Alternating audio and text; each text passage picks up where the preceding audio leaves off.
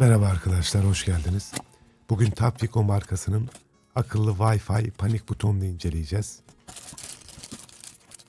Biz bunu e, hap, kol saati, buton ve kolye olarak aldık. Bunu ne için kullanırız birazcık ondan size bahsedeyim.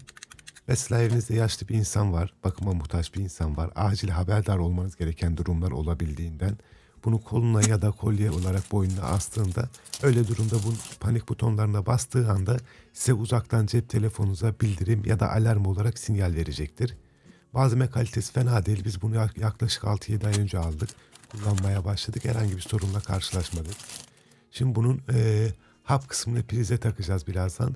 Bunun hangi programlarla kullanabiliyoruz? Alexa ile, Google Ev'le ve Tuya Smart'la. Ben daha önce Tuya Smart kullandığım için onun üzerinden devam edeceğim. Şimdi eşleştirme modunu alıyoruz. Şu ortadaki tuşa birazdan basılı tutacağız. TÜYA programını açalım. Daha önceden benim tanıttığım bir akıllı priz var gördüğünüz gibi. Buradan artıya bas basalım. Cihaz ekle. Sensör kısmından alarm Wi-Fi'ye tıklıyoruz. Buradan cihazımızı kendi Wi-Fi ağımıza bağlıyoruz. Şimdi bu aşamada haptaki orta tuşa birkaç saniye basılı tutuyoruz. Işıklar bu şekilde yanmaya başladığında bırakıyoruz. Cihaz ekle kısmında LED'in e, yanıp sönen LED'e basıyoruz. Gördüğünüz gibi cihazı gördü, eklemeye başladı.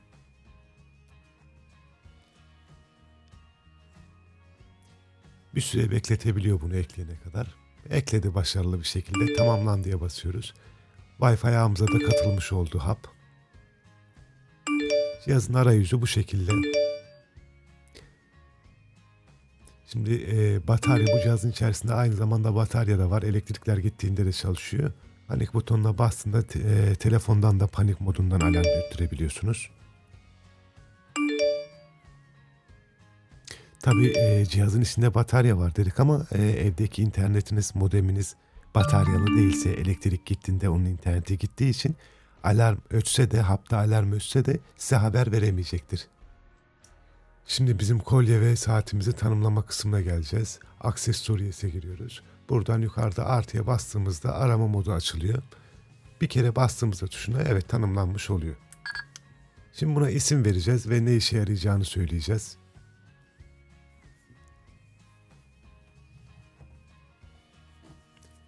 Name'den bir isim verelim.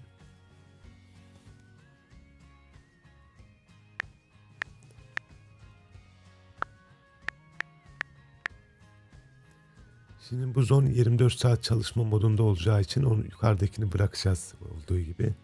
Burada panik kısmını seçeceğiz. Panik butonu seçtiğimiz zaman e, 7-24 paniğe basıldığında alarm ötecek.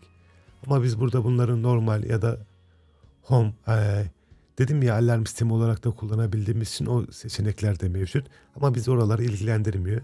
Biz direkt 24 saat ve panik olarak işaretleyip geçeceğiz. Evet şimdi testini yapmış olduk. Gördüğünüz gibi siren sesi ötüyor. Bu arada bu sadece e, haptan, switch'ten bu ses gelmiyor. Aynı zamanda telefonunuzdan da bu siren sesi geliyor.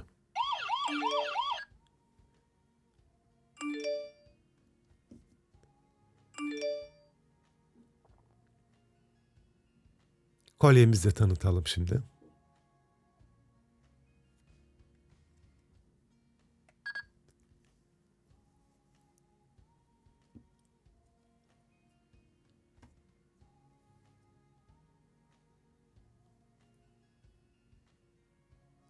İsmi veriyoruz yine. Bu sefer kolye diyebiliriz.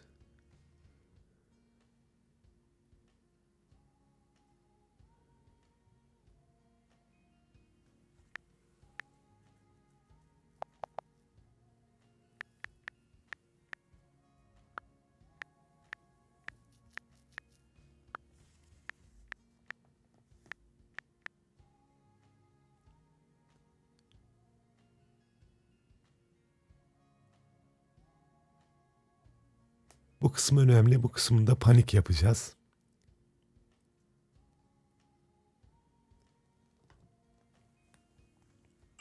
Tamam şimdi kolyemizin de testini yapalım.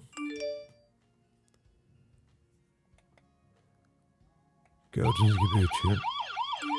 Tabii bu kolye e, e, saat 433 MHz bandında çalışıyor. bu hava çok fazla uzaklaştığı zaman çalışamayabilir. Genellikle bunu kim kullanacaksa aynı odada olursa daha iyi olur ya da olmazsa koridor gibi bir yerde olur. Kullandığı odaların tam kesişim noktasında olursa daha faydalı olur. Ben bunu tabii dediğim gibi uzun süredir kullanıyoruz biz. Çok hani e, kapsama alanda sorun yaşamadık. Bir eve yetiyor. Ama evin bir köşesine koyup diğer köşesinde bazen çekmediği olabiliyor.